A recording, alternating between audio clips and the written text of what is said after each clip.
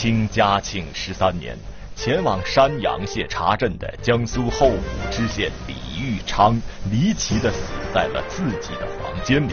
江苏省以李玉昌自杀身亡结案上报中央刑部，然而嘉庆皇帝却认为此案疑点颇多，要求江苏、山东两地重审此案。岂料两地审案却审出了自缢和中毒两个截然不同的结果。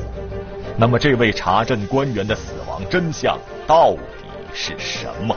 嘉庆皇帝又是为什么如此重视这个案子呢？历史学者张成将为您讲述《山羊毒杀案》第二集：皇帝很重视。江苏候补知县李玉昌被派往淮安府山阳县查证。就在查证工作即将结束的时候，李玉昌却被发现吊死在了自己的住所。山阳县负责调查李玉昌死因的官员认定他是自缢身亡，并将这一结论逐级上报到了中央刑部。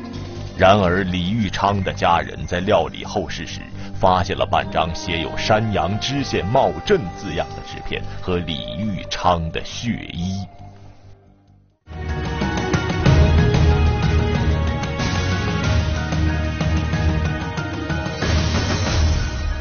观众朋友们，大家好，欢迎收看法律讲堂。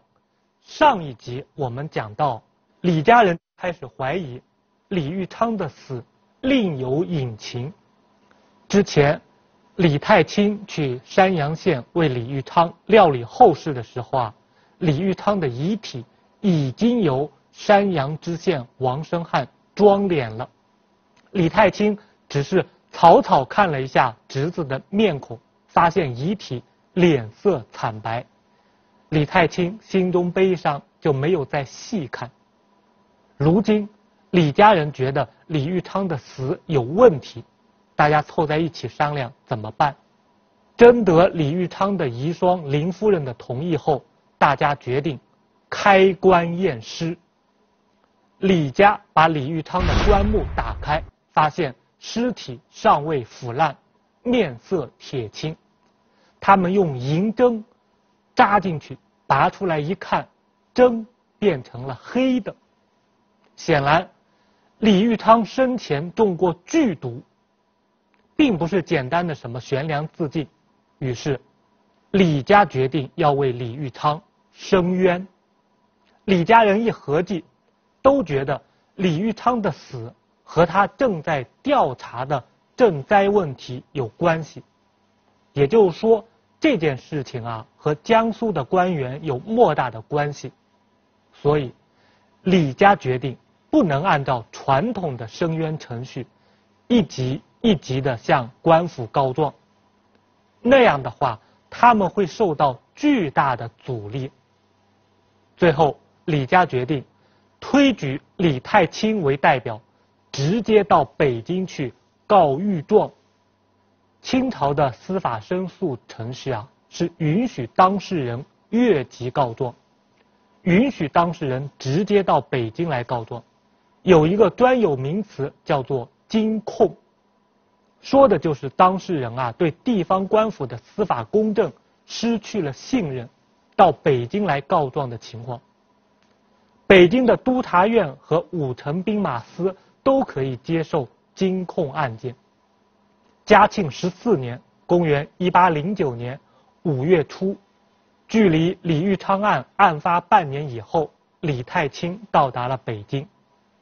考虑到李玉昌的官员身份，李太清选择到督察院投递了诉状。督察院负责政府机构内部的监察工作，是清朝官府自我纠错的负责部门。现任官员暴毙身亡，而且有证据显示生前身中剧毒，这事儿，督察院的确得管。督察院接到诉状后，意识到这件事情很严重，几位负责官员啊一商量，大家都不敢轻易决定下一步怎么办，干脆直接把这个案子递交给了。嘉庆皇帝，嘉庆十四年五月十二日，督察院将李玉昌案如实具奏。当时在位的嘉庆皇帝啊，是一位很想有一番作为的皇帝，很无奈，他继承的江山已经走上了下坡路，效率低下，财政窘迫，吏治腐败。嘉庆皇帝一心要找出原因何在，然后再去寻找补救的办法。他思考的结论是。朝廷法制健全，制度完备，康雍乾盛世就是在这套体制上取得的。现在之所以问题频发，是因为官员们丧失了清正廉洁的作风，缺乏实干进取的斗志，以权谋私、贪污腐败，根子出在官员的思想上，所以。嘉庆皇帝决定要掀起一场反腐败运动。他决定抓典型，树立几个正面典型，惩办一批腐败官员。恰好在这个时候，督察院把李玉昌案呈递了上去。嘉庆皇帝预览后，气愤之余，决定将此案树立为自己反腐败运动的一面。新旗帜，这就意味着李玉昌案不想成为一桩震惊朝野的大案都难了。嘉庆十四年五月底，嘉庆皇帝颁发圣旨，指出李玉昌案事关朝廷职官之死，疑窦甚多，必有冤意。他指出了三大疑点：第一。是自己至今没有看到江苏候补知县李玉昌自缢身亡的官方报告，可见江苏当地官府对一个现任官员的死漫不经心。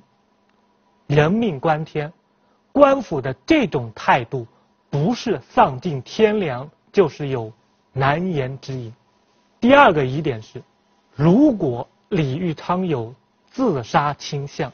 为什么当天夜里还要去参加酒宴？这在情理上说不通。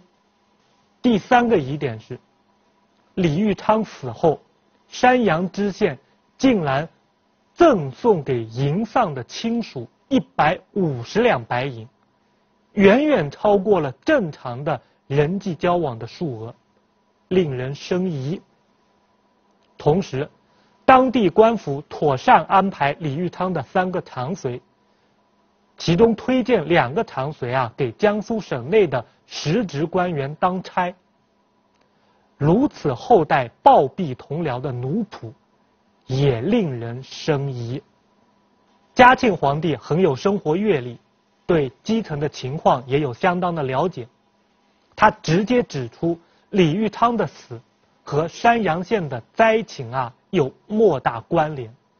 他说：“此案或系李玉昌奋差查证，认真稽核，查有弊端，该山阳县为其接报，致死灭口，亦未可定。”对于此案下一步行动，嘉庆皇帝明确指示：第一，命令山东巡抚吉伦速将李玉昌的尸棺运到。省城济南，委派明白干练的官员详细检验，据实回奏。第二，命令两江总督铁保速将李玉昌的长随李祥、顾祥、马连生传集到案，认真审讯。如果发现有问题，将山阳知县淮安知府一并解任严参，将相关人犯。押解到济南归案审理，在圣旨的末尾，嘉庆皇帝警告相关官员：如果你们不秉公办理此案，自己绝不轻恕。有了皇帝的高度重视和明确指示，李玉昌案的进展啊非常迅速，处理起来也相对顺利。嘉庆皇帝发话后。山东、江苏两省迅速行动起来。不过，一桩案子，只有得到了最高层的高度重视和明确指示，才能迅速推进、快速处理。这本身就是不正常的。难道李玉昌案没有得到嘉庆皇帝的过分关注，就不能够公正处理了吗？这不能不说是该案一个悲哀的地方。嘉庆皇帝认为李玉昌案其中可能有黑幕，下令山东、江苏两省立即对案件进行复查。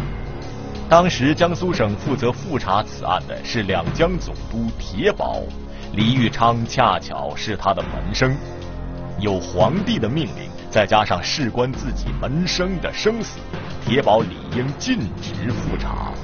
可他却在查案上草草了事，这是为什么呢？历史学者张成将继续为您讲述《山羊毒杀案》第二集，皇帝。很重视。嘉庆皇帝下令核查李玉昌案后，江苏省的压力是最大的。李玉昌案案发在江苏，而且江苏各级官府已经通过了审理，得出了自缢身亡的结论，上报朝廷。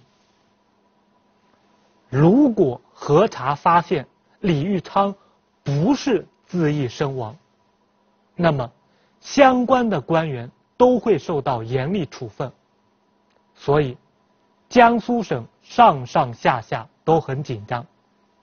当时，江苏省最高长官是两江总督铁保，铁保出身满洲正黄旗官宦世家，他自己二十岁就考中了进士，之后是顺风顺水，平步青云。历任副都统、侍郎、山东巡抚、漕运总督。年轻的时候啊，铁宝的工作很认真、很负责。但是，李玉昌案发的时候，铁宝已经五十七岁了。对于他这样年纪的老人来说，成绩已经不重要了，重要的是安静的等待退休，颐养天年。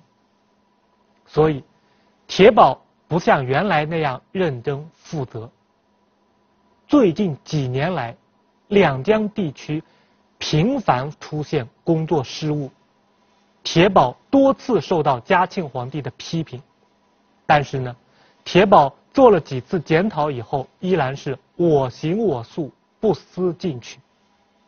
对于李玉昌案，铁保其实并不陌生，因为啊。李玉昌是铁保的门生。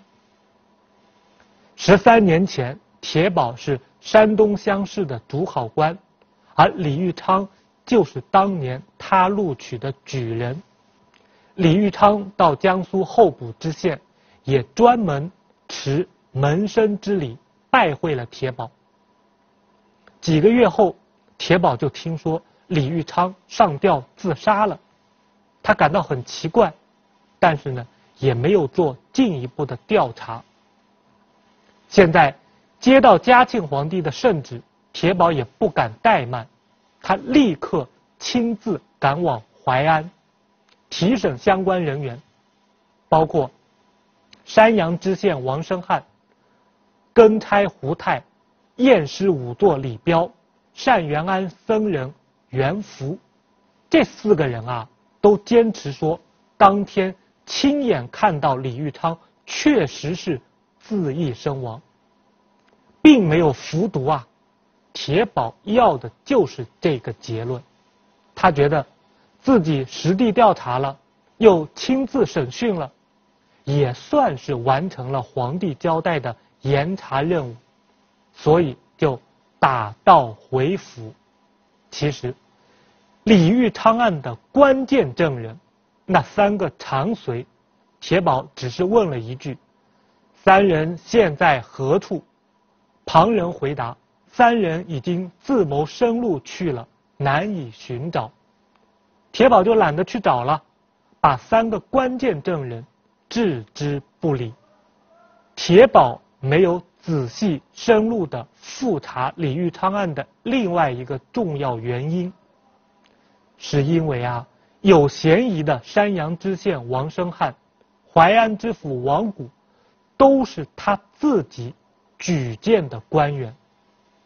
铁宝在主观上不愿意这两个人涉案。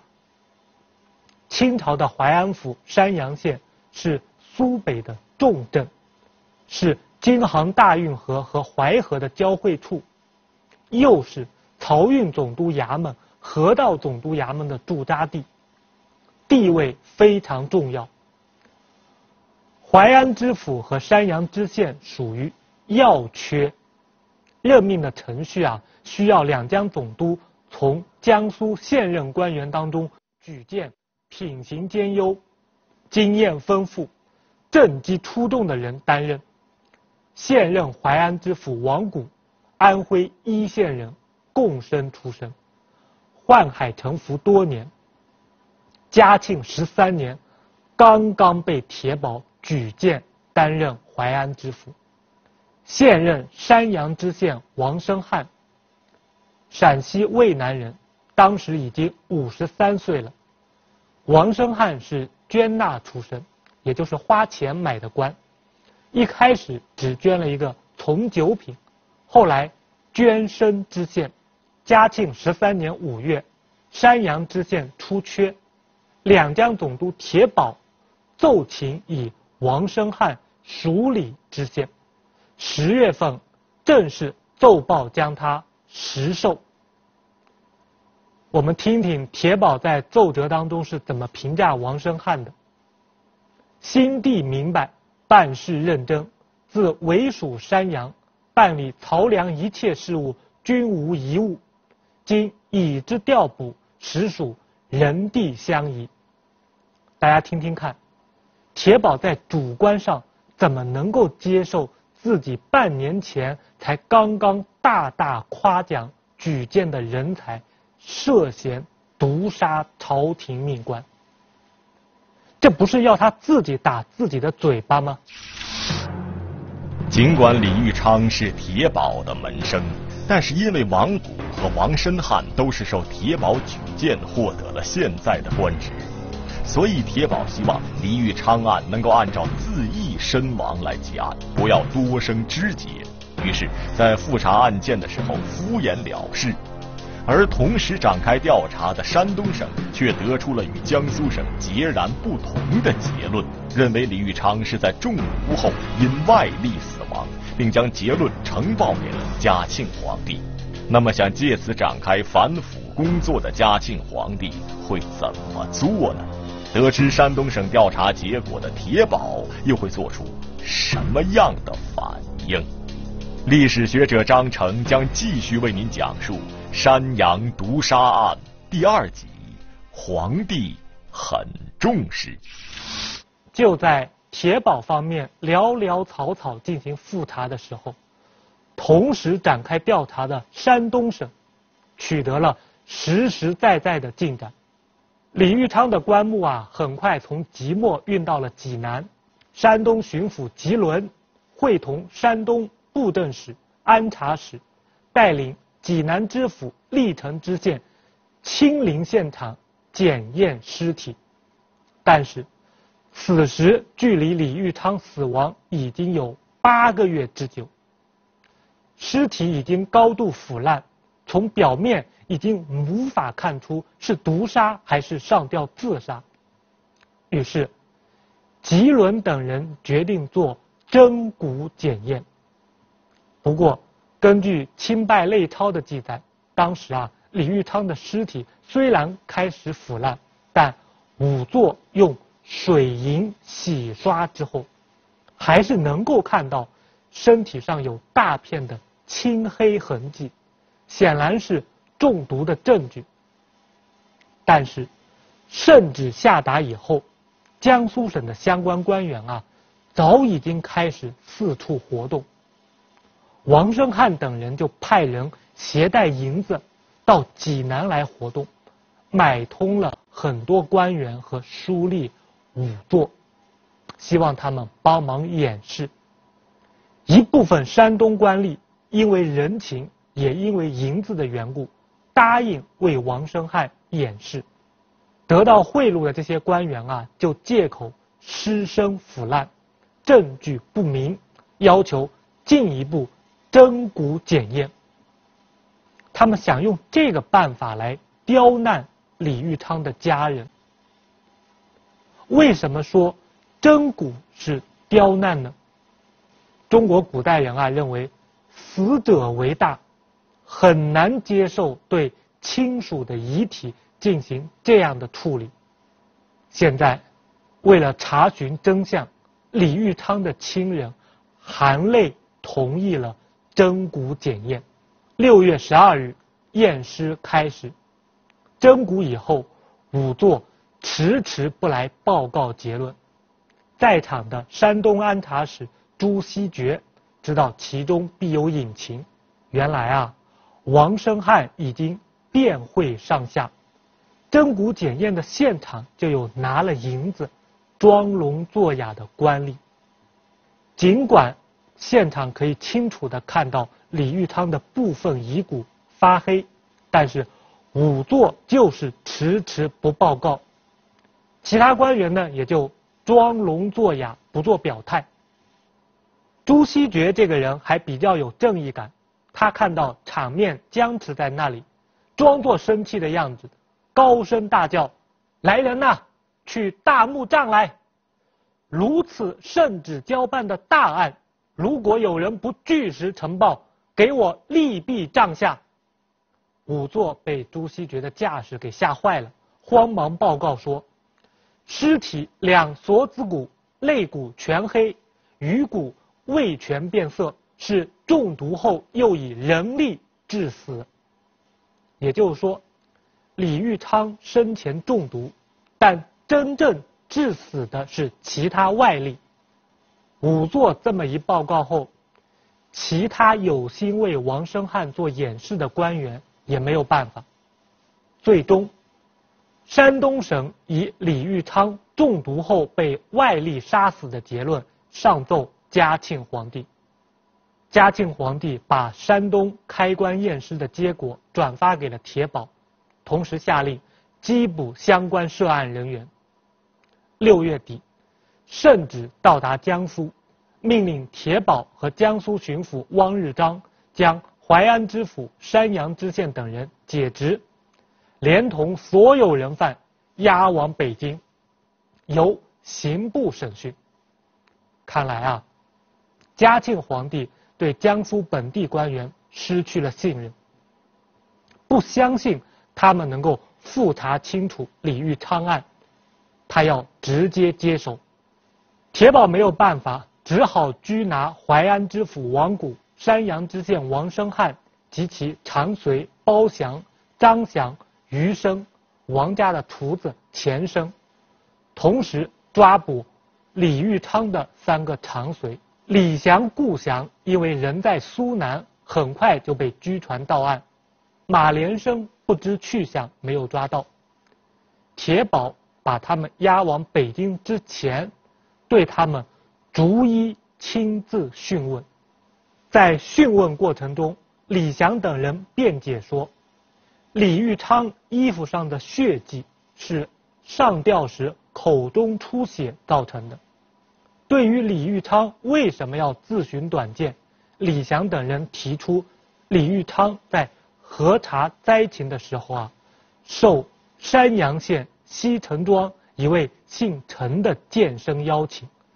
曾到陈家喝酒，在酒席上啊，陈建生索取赠票数十张，赠票啊就是受灾证明，有了它就能够领取朝廷的救济。事后，李玉昌非常懊悔，坐立不安，铁宝马上下令查办这个姓陈的剑生，很快查明啊，此人名叫。陈茂，陈茂承认，经过自己再三邀请，李玉昌的确到家里来喝酒，自己也的确是虚报了十二户名目，请求啊李玉昌帮帮忙，但是呢，李玉昌并没有答应帮忙。铁宝把相关人等全部押解到北京，同时呢，他给嘉庆皇帝上了一道奏折，陈述了自己调查的过程，认为啊，李玉昌自杀的可能性非常大。他在奏折中还专门提到了李玉昌去陈家喝酒的事儿。似乎想证明李玉昌的死或许另有隐情。总之，铁宝内心还是希望李玉昌案能够按照自缢身亡来结案，不要多生枝节。李玉昌案发展到这一步，还有可能按照铁宝的想法以自缢身亡了结吗？这个案子的真相。到底是什么？欢迎大家收看下一集的法律讲堂，谢谢大家，再见。